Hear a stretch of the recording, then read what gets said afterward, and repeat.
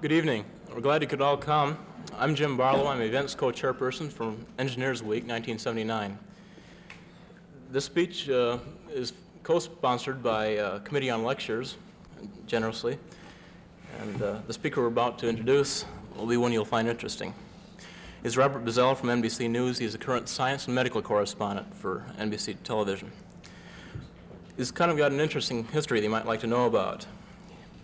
He quit high school and worked as a merchant seaman in the Pacific in 1964, earned a high school diploma and entered the University of California, Berkeley, gr graduating 1967 with Phi Beta Kappa honors and a BA in biochemistry and a Master of Philosophy degree in biology, University of Sussex, England, in 1968.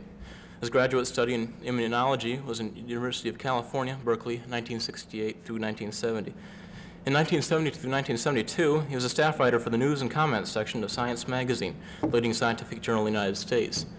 In 72 through 76, he then became a reporter and assistant city editor for the New York Post, covering everything from fires and murders to national politics. In 1976, he was a reporter in the Washington Bureau of NBC News, and then finally in September 1978, he became science and medical correspondent at NBC News in New York.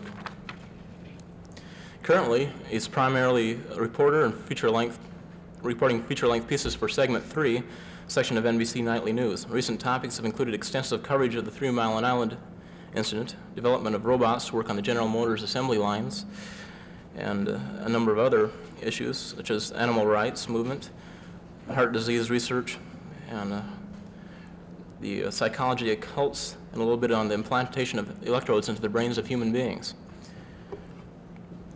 He's recently won an award in national, from the National Press Club Award for Investigative Reporting and Television Reporting for a piece that first revealed the uh, dangers of liquid protein diet. So I'd like to introduce, without further ado, Mr. Robert Bazell.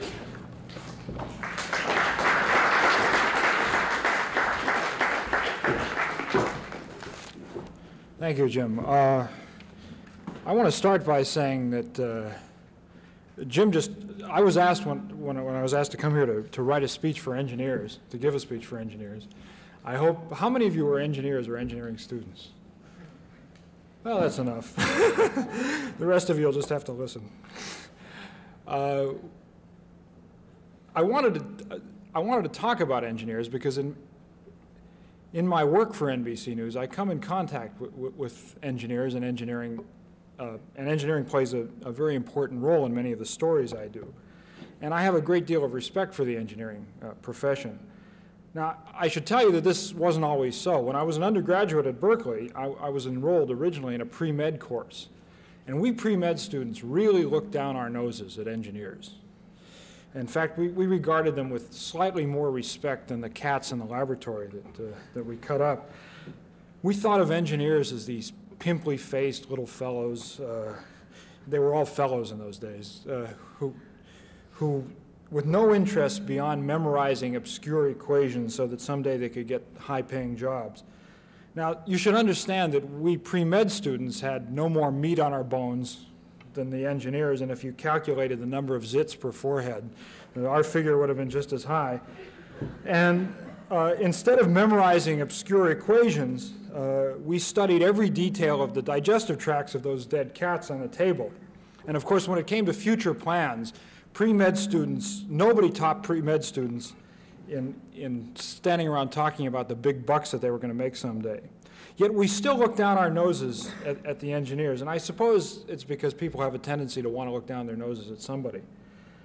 Uh, the biggest problem with all this, now that I'm thinking about it years later, is that I think that engineering students often believe that propaganda. I think engineering students sometimes accept that the profession for which they're training is somehow less noble or somehow less important than science or medicine. And if those engineers, engineering students believe that then, they were wrong. And if any of the engineers here believe it, they're wrong. Because I think that engineering is, is just as creative and just as crucial to our national well-being as either science or medicine. And if, if engineers don't believe that, they run a great risk of, of failing to fulfill their potential, both in terms of what they can accomplish for the society and, and what their contribution uh, just generally can be. Now, going back to my time as, as an undergraduate, I remember that of all engineering, I thought that sanitary engineering was the funniest thing I had ever heard. I mean, I remember going through the course catalog, and the idea that somebody would be going to college to learn how to get rid of sewage struck me as absolutely hilarious. But along the way, I eventually left pre-med and left a bunch of other things and ended up writing for Science Magazine. And that was the time when the environmental movement was just starting to blossom. And I had to write stories about the environment. And one of the first things I had to do was to go seek out sanitary engineers. And I had to learn a lot of sanitary engineering myself. And at at that time, I learned the crucial role that these professionals play in keeping our cities alive. In fact, all engineers are crucial to this society, and I think that's true for two reasons. The first is the obvious one, that the sanitary engineers keep our rivers and lakes clean, the civil engineers build the highways, electrical engineers are developing technology that's so crucial to our competitive position in the world marketplace. All those functions that support our very existence as a nation. But the second reason is that because you engineers are the ones who implement, implement those tasks, you're the ones who have control over it. You're the ones who have control over the technology. And that's, that's the aspect of your importance that I'd like to consider this evening. It's not very common and probably not very popular for engineers to talk about the social consequences of what they do. There's an assumption that that sort of thing just isn't done. I'd like to read you a description of how engineers view their work that was written by an engineer named John Mills in the early 1940s. An engineer, he wrote, develops what his employer wants, whether the employer is government or a private corporation. He has little, little concern whether his products are utilized for general welfare or for violent destruction. To politicians, he delegates the responsibility for their use, and he rarely subjects the politician's decisions to the same critical analysis to which he puts the data of his engineering experience, experiments. Now, I think the situation is not that different today. Most engineers simply are not worried about the use to which their work is put or the effects of it outside the immediate system in which they're working. And I think that is terribly, terribly wrong. Uh, it stems in part from the sense of inferiority that I was talking about before. Many engineers are willing to regard themselves as nothing but hired hands because they see what they do as less important than the physician treating patients or the scientist in the laboratory. They believe that somehow there's this canyon that separates engineering and applied science from, from pure science, and that isn't true. Now, we can eliminate physicians, I think, from any competition. What's happening here? Are we being attacked? Or, we can eliminate physicians from any competition with engineers because engi- uh, physicians are, really are highly paid technicians, and the only difference is that their theoretical basis on which they make their decisions just isn't as strong as the ones that engineers use. And in fact, we could probably classify physicians as closer to plumbers and carpenters. But, but what about laboratory scientists? Um, let's take, for instance, a, a biologist who's studying cancer, which sounds very dramatic and esoteric. But a biologist spends most of his time trying to solve very specific problems. It's very mundane when you get down to the day-to-day work. Say, for instance, and this is a, this is a typical uh, cancer research problem. A biologist might be trying to take cells from the mammary glands of mice and get them to grow in a petri dish so that he can add some liquid containing viruses to this to find out what happens. Now, to accomplish that, he has to perfect a number of steps along the way in the operation. How best to remove the tissue from the mice, and what kind of culture medium do you put it in, how, what shape should the petri dish be, and so on. And if the scientist is good, he perfects each step with the same methodology, same rigorous methodology that an engineer would use. Now, I say if the scientist is good, because many are not, and they waste a lot of time and a lot of the taxpayers' money trying to solve these problems because they simply don't know how. And I think, in fact, that science might progress a whole lot faster if research scientists thought of themselves as engineers and were trained as engineers rather than wizards who are trying to conjure something up out of the celestial ether. But the main point is that engineering and science are not that different. In fact, they're more alike than they are different. And when engineers behave like hired hands, delegating control of their products over to others, unnecessary harm can be brought on a lot of people. And I'd like to give you some examples of the behavior of some engineers that I've encountered in pieces that I've done for NBC. But before I do that, before I discuss social responsibility in engineering, I want to emphasize that neither I nor anyone else in television are, are the morally pure keepers of anyone's conscience.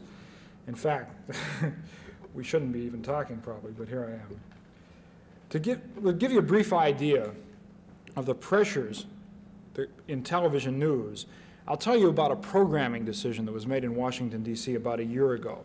Until that time, all three of the network television shows ran at 7 p.m. And it it was a very competitive situation because, for obvious reasons, there's enormous interest in the national news in Washington. Then NBC decided to try to do something about that, and it put its network show on at 6:30, a half hour earlier. And at 7 o'clock, NBC, my network, ran the Newlywed Game. Now, I don't know how many of you ever watched the Newlywed Game. I wouldn't embarrass you by asking. But I think it's one of the most despicable things that has ever been put before the public. People humiliating themselves, all sorts of sexual innuendo that uh, is improper. Well, the punchline to this story is that at 7 o'clock, the Newlywed Game beat out both Walter Cronkite and ABC News by a lot in Washington, D.C., and it still does.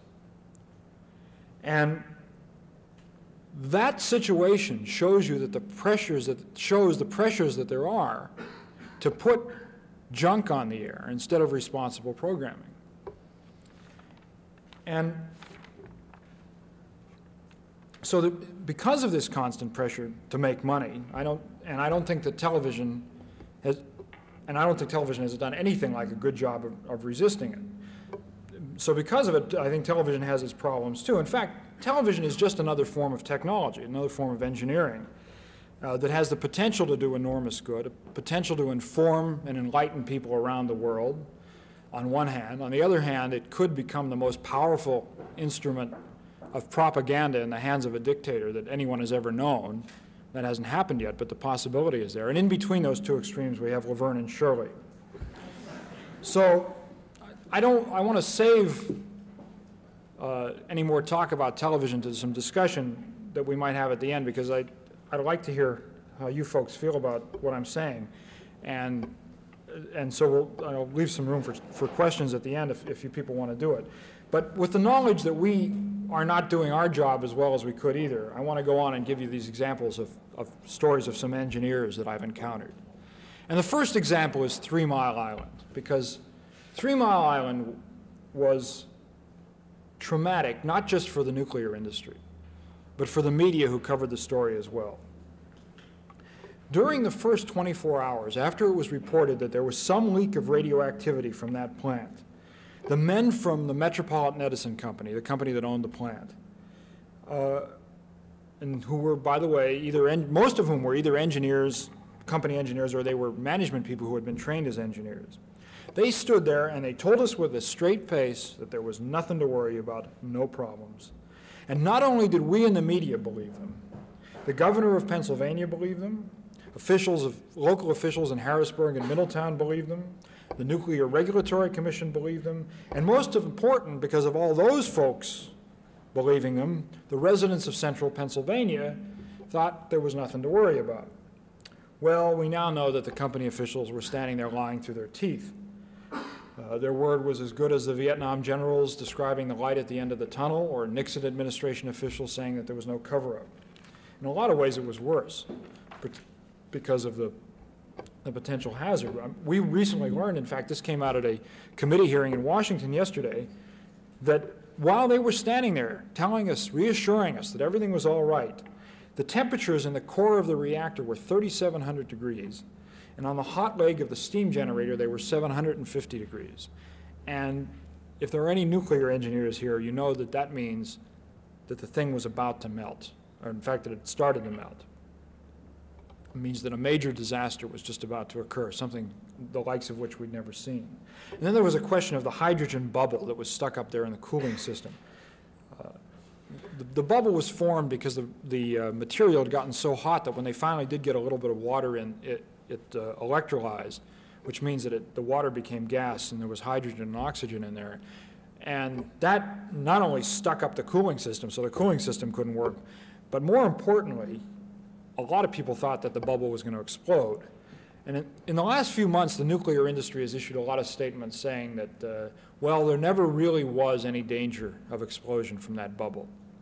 And I think that's probably true, because it turns out that the oxygen was recombined with the hydrogen in the water, and there, there, there was no oxygen in there which, to combine with it to explode. But the fact was that at that time, the top nuclear engineers in this country, the top minds, didn't, didn't think there was no problem. In fact, they were damn scared that it was going to blow up. And in, a little bit of hydrogen gas, by the way, had gotten into the containment vessel on day two, and, and there was an explosion, but it was outside the actual reactor. So,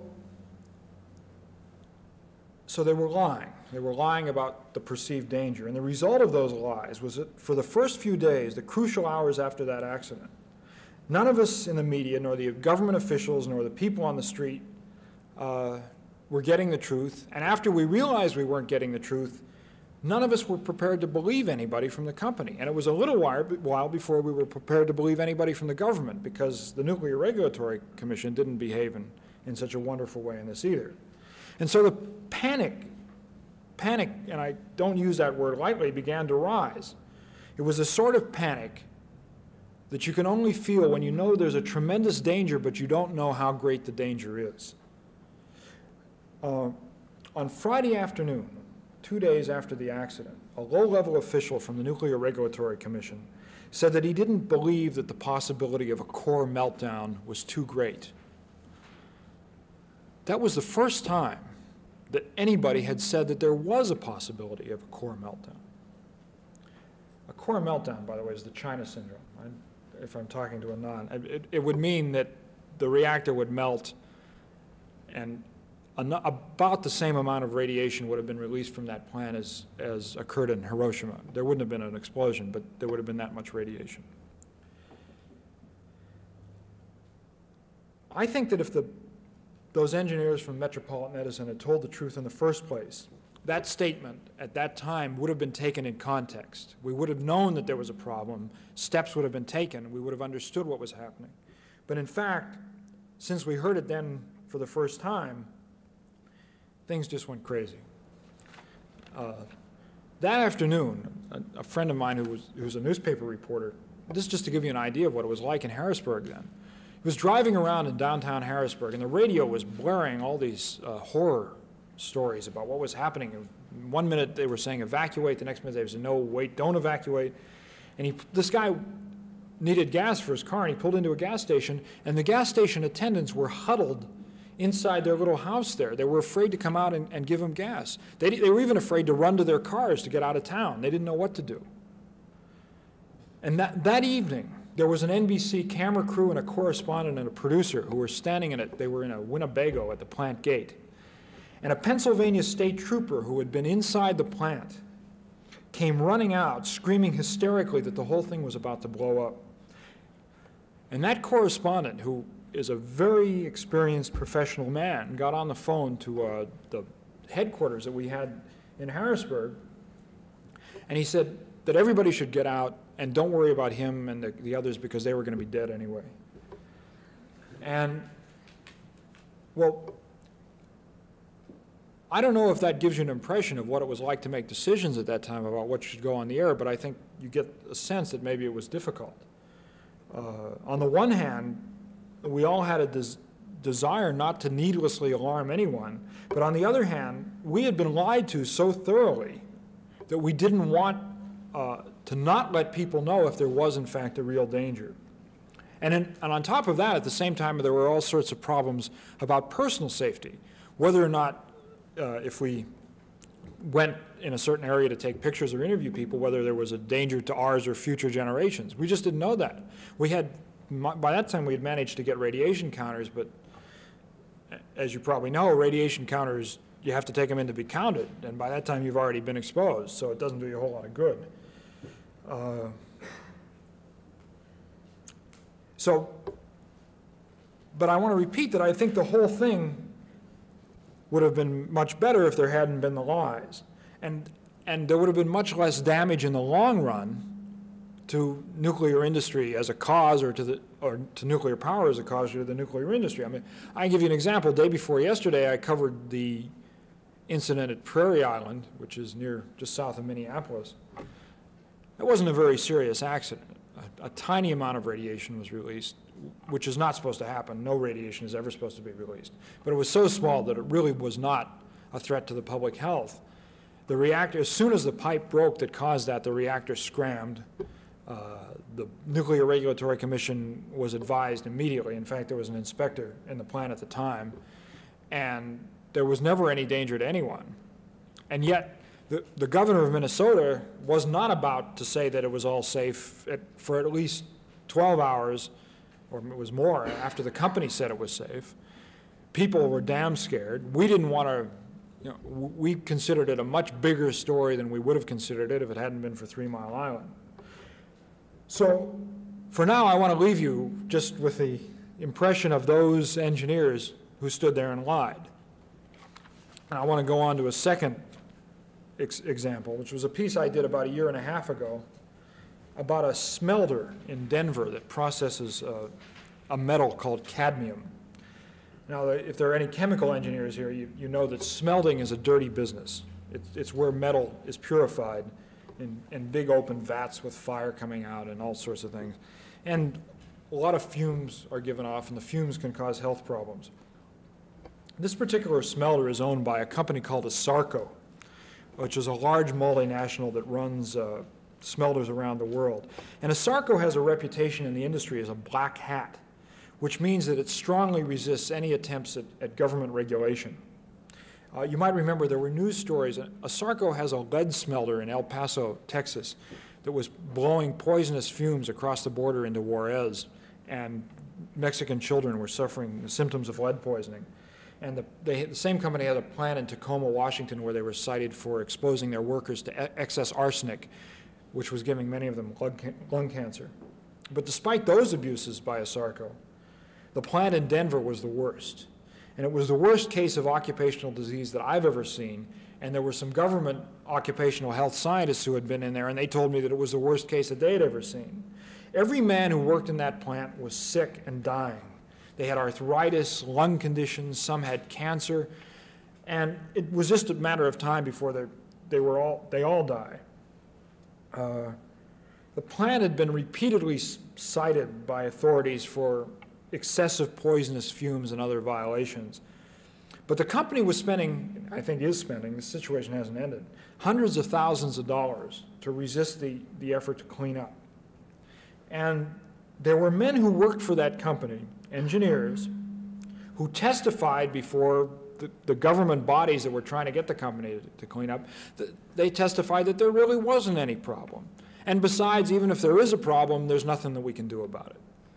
Now, all those people had to do was take a walk around the plant, to read the reports that had been written about that plant, or to talk to some of the workers, and they would have realized, mean, I'm sure they knew, that, that something is terribly, terribly wrong there. And those are the engineers that I want to leave you with from that story. The third incident concerns a uh, piece that I just finished, it hasn't been on the air yet, that concerns a dam that, broke. Uh, Engineers say that the dam failed. Somehow it doesn't sound as bad. Uh, This was a a relatively small dam uh, in, near a place called Church Rock, New Mexico. But this dam served a very important function. It held back the tailings from a uranium mill. And when the dam broke, 100 million gallons of water containing uh, low-level radioactivity and poisonous heavy metals went spilling into a river called the Rio Puerco.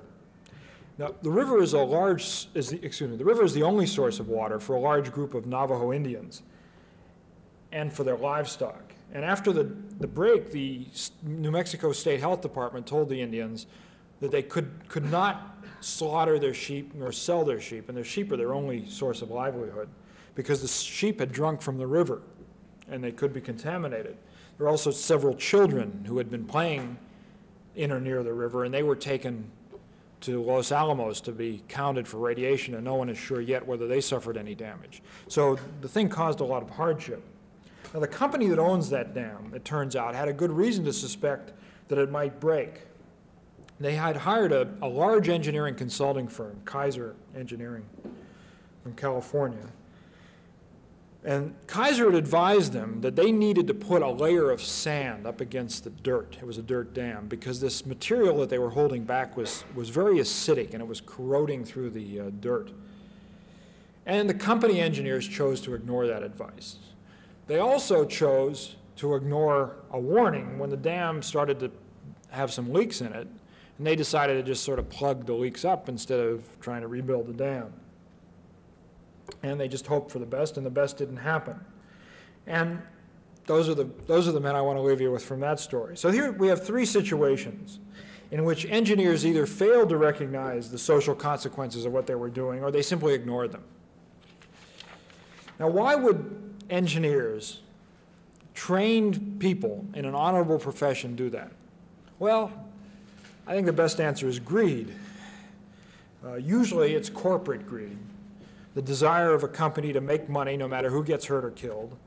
And when and corporate greed, I think, translates into individual greed when somebody says, I'll take my paycheck and do whatever the company tells me to do, and I'll let the company worry about the consequences. You know, greed means trying to keep the reactor going, even if it looks like it might blow, and not warning the public because we don't want anybody bothering us. It means not properly rebuilding the dam, trying to wing it. And it means not concerning yourself with workers who are dying from toxic fumes because it costs too much to clean up the plant. But I don't think greed is the only answer to why we have situations like this. Greed is, greed is so common that there's really not much else to say about it. But another factor, excuse me, another factor is the quality of the engineers who enter certain professions. And I, for those of you who are looking for jobs, I think this is very important. It's really true for the utility executives who are responsible for nuclear power plants.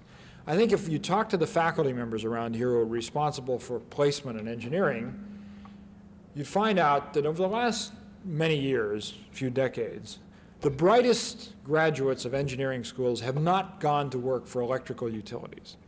Electrical utilities have been seen as rather dull, mundane jobs. I mean, you just put the electricity through the wires and light people's light bulbs. But it turns out that in those same few years, electrical utilities have come to control nuclear power plants, which is the most complicated, potentially dangerous civilian technology there is.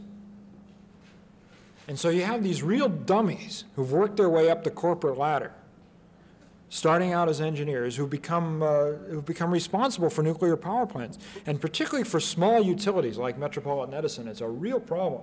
And they'll even, even the younger company people will even say that, not, not on the record, but it's, it's not a, it's, it's a gigantic problem. And I think the lesson in that is that for you engineers who are seeking jobs, you, you shouldn't underestimate the potential importance of a job, even if it seems fairly dull at first glance. And aside from the quality and competence of the people involved and their, and their greed, there, there are other problems endemic to the engineering profession that can lead to irresponsible actions. Uh, one of these is overconfidence in the technology with which you're working. It's very easy to delude yourself into thinking that you know more than you do and that you're able to accomplish and control factors which in fact you can't control. It's a basic tendency, I think, of human nature to believe that when you finally got something to work, it, there couldn't possibly be anything wrong with it. Or, or that when you've done something, it, it couldn't possibly do, do any harm. I think one of the best illustrations of this I, I can think of is, is the last scene in the film Bridge on the River Kwai. I don't know if, it's an old film and it's still shown on TV every once in a while, but I think it, it contains a marvelous metaphor for engineers. It's a story about a group of British prisoners of war who are forced by their Japanese captors to build a bridge on the River Kwai for, for the Burma Railroad. And they finally complete the bridge, and they do a very good job of it. And it, but the cost to them is enormous misery. Many of them die uh, and, and suffer in, in doing it. And finally, near the end of the film, these prisoners of war are liberated by a group of British commandos, and the commandos go on to blow up the bridge. And just as they're about to blow up the bridge, one of the men who built it, in fact, sort of the head engineer, goes out and tries to stop them. I mean, he built this bridge, he didn't want to see it destroyed. And, and we see the same thing constantly in engineering. It's my nuclear reactor, I built it, it couldn't possibly go wrong. Or it's my dam, it's not going to break. And I think that sort of complacency was one of the factors in the, in the dam failure that I just described. And it was certainly a major reason why the Teton Dam in Idaho failed. Like, what is it, about a, a couple of years ago now? And a congressional committee concluded that the main problem was, was overconfidence of engineers. And I, that sort of overconfidence is particularly a problem if you've been performing a task successfully for a long period. When you've made a lot of dams and none of those dams are broken, so how could this one possibly break? Another thing is that most engineers like their work. They, they want to accomplish tasks. And I, th that's another source of difficulty. Often engineers, either consciously or unconsciously, disregard hazards because they want to push ahead toward the goal. And the best example of that is the Army Corps of Engineers, which has many marvelous accomplishments to its credit, but which also has built a whole lot of turkeys simply because it wants to build them. And often the Corps' desire to get a project completed far outweighs any consideration of whether the project is needed or whether it's dangerous. Of course, it, it, it's not always easy to know that a particular feat of engineering is dangerous or how it might be dangerous. There are all sorts of well, examples of well-intentioned work that, that ultimately proved to be very bad. The X-rays, for example. I mean, as late as the 1950s, there was no realization of, of the cancer hazard from X-rays. And even today, the debate continues over the effects of low-level radiation. And a lot of people will say they just still just don't know uh, whether even dental X-rays can present a serious problem. Another thing is that engineers are often overconfident of their abilities to accomplish tasks uh, without danger because they don't consider entire systems. Now, the ecology movement made that a little bit better. I think it's more fashionable nowadays to, to consider entire systems.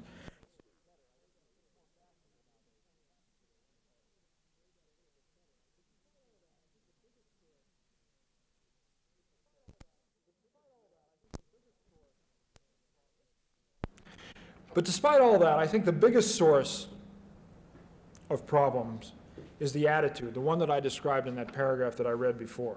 And that is that engineers think that they have no reason to be concerned about the consequences of what they do. It's, it's like that old song, uh, I think it was Tom Paxton, about Wernher von Braun. He make the rockets go up, but where, excuse, where they come down is somebody else's problem. And the, idea that engineers are, are automatons, that you plug in the question in one end and the solution comes out the other end.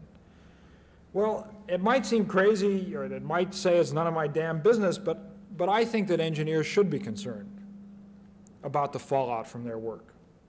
And we have plenty of examples of what happens when there is concern, and I, they're cliches, you've heard them all before. We have smog in the air from automobiles, chemical waste in the public waterways, traffic deaths on poorly designed highways, and so on. And I haven't even mentioned military work up to now.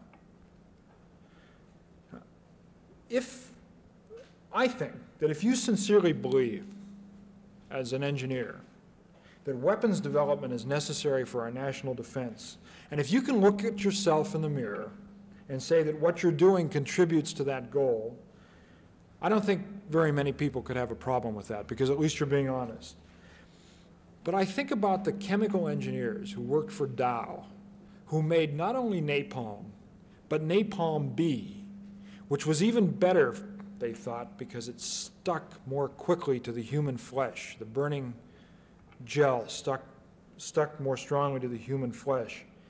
And they would sit in their laboratories and make that stuff. And what, what could it have been like for those men to go home and see the pictures of the burning Vietnamese peasants?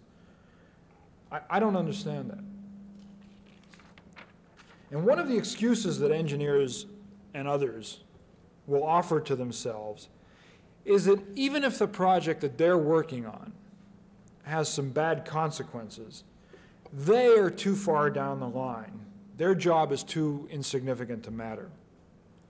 Well, I think that you engineers should remember that if somebody is paying you to do the job, it's not insignificant. And I don't think the exhibitors that came here for Engineers Week paid all that money to try to lure you to work for their company because they think that what you're going to do is insignificant. And you as students are spending years of your life here. You're eating up thousands of dollars of, of your money, your parents, and the taxpayers' money. And in the process, even, even the dimmest among you is going to acquire very valuable skills.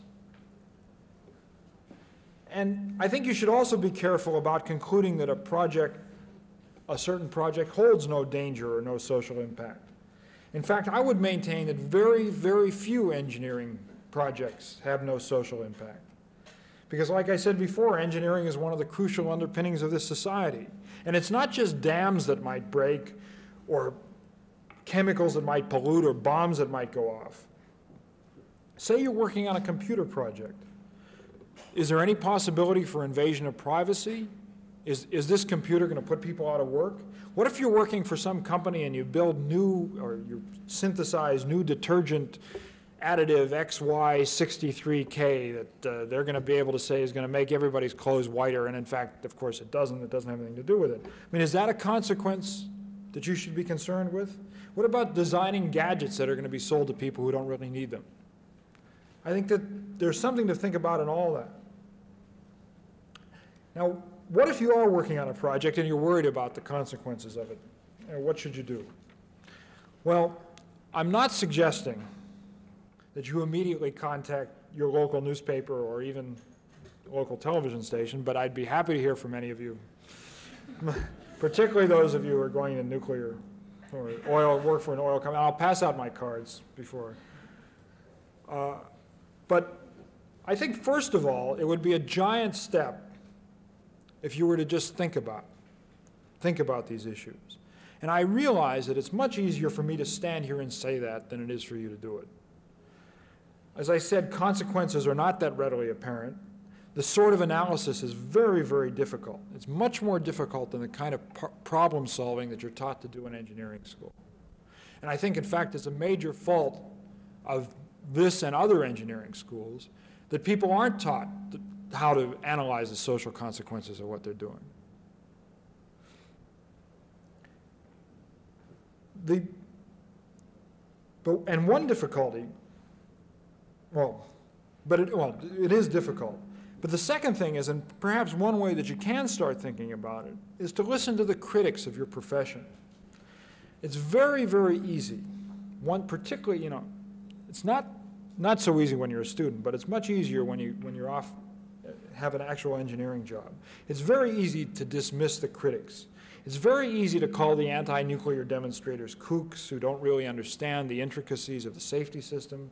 It's very easy to, to criticize environmentalists who, who you might say are alarmists, who, who have nothing, uh, nothing but negative things to say about anything and are against progress. But oftentimes these people do understand, and they do see where engineers have blind spots. One example was the anti-nuclear uh, activists of the, of the 1960s. And at, at, that time, those people were many fewer than, than Jane Fonda and her friends are now. Uh, and the, the, leaders of that movement, the professors Gofman and Tamplin, who, were nuclear scientists, but they, they were the, the main spokesmen, they were severely ridiculed. I mean, I remember hearing top, their, their former colleagues call them fools, demented, senile. And yet, because of what they said, the emphasis in the 1960s switched in, in the nuclear business to being more concerned with safety than almost anything else. And if that hadn't happened, we might have actually had a meltdown by now, and not, all, and not an almost meltdown. And if we look at the reactors in the Soviet Union, that's an interesting example because there's not the free flow of ideas there. There's obviously there's not the criticism. And reactors in the Soviet Union don't even have, or at least until recently, I think a few of them, they don't even have containment facilities. And they have less than half of the safety backup systems that American reactors have. So I don't think that the kind of criticism that you hear is, is always a bad thing. You know, you don't have to agree with it, but I'm just saying you should listen to it and make sure that they're not saying something that you should hear. And I'm not saying that if, if a project poses a potential danger or harmful effect, it should be canceled or, or engineers shouldn't work on it or something like that. Uh, Industry, faced with environmental opposition, is very fond of saying that there is a hazard in everything we do. And in fact, that's true. And, but people who live underneath a dam and understand that there is some danger from that dam, that that dam might fail, still might want the dam built because of the benefits. But the point is that in a democracy, it's the people who should decide whether or not the dam gets built, not a bunch of engineers and managers. The American public is quite able to assimilate information. And I think that when an engineer says that the public can't understand the intricacies of what he's designing, can't understand the possible consequences, he's being an arrogant fool. Because the public can very easily understand, and, can, and the public should make the choices. Because if you don't believe that the public should, should make the choices, you don't believe in democracy.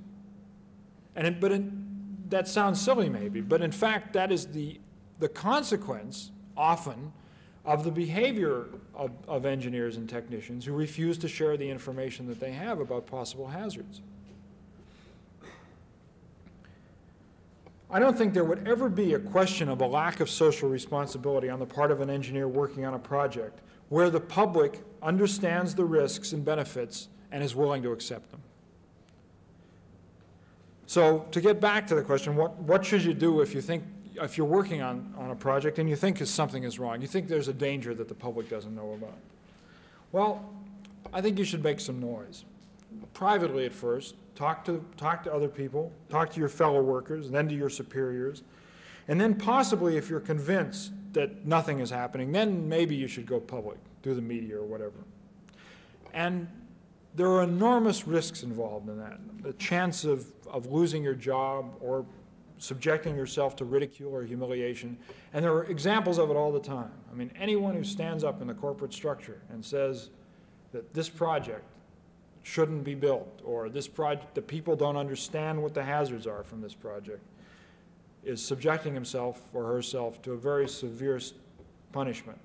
But uh, it takes a lot of guts to do things right, and there's a lot of forces working in the other direction.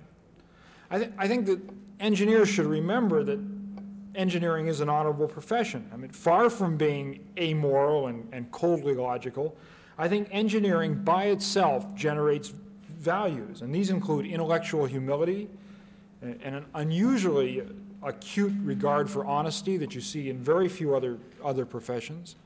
I mean, in that narrow system, where engineers work, you really have to consider the truth, the facts. And I think there's, there's a clear sense of purpose in engineering, and there's, there's an emphasis on cooperation that, that exists in very few other places. But too often, these values are exercised with regard to the particular problem that an engineer is working on, and not with regard to the engineer's place in the society. Uh, I just, I want to read something here. This was a, an engineer named Dr. Meredith Thring, who's a professor at Queen Mary College in London, wrote an article in 1971 in the New Scientist, and he suggested that young engineers, students, should be required to take an oath that was analogous to the physician's Hippocratic oath. And he thought that you should take it at your, at the stage in which your students are. And I, I want to read this. So I vow to strive to apply my professional skill only to projects which, after conscientious examination, I believe to contribute to the goal of coexistence of all human beings in peace, human dignity, and self-fulfillment. I believe that this goal requires the provision of an adequate supply of the necessities of life, good food, air, water, and man-made beauty, access to, to natural and man-made beauty, education and opportunities to enable each person to work out for himself his life objectives, and to develop creativeness and skill in the use of hands as well as heads. I vow to struggle through my work to minimize danger, noise, strain, or invasion of privacy to the individual, pollution of earth, air, or water, destruction of natural beauty, mineral resources, and wildlife. Now, I don't know how you engineers would feel about that kind of vow, but I, I just want to end this by saying that I think that you should take some kind of vow, and that you should think about what you're doing. That's all I. I just would like now to, to hear some questions or any comments on, on, on any of that. Thank you.